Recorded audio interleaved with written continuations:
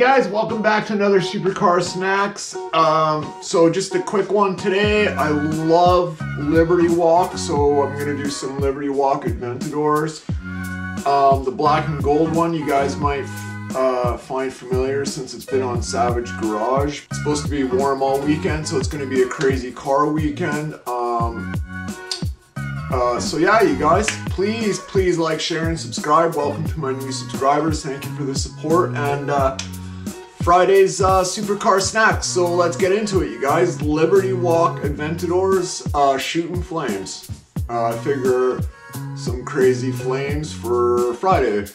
Please like, share, and subscribe.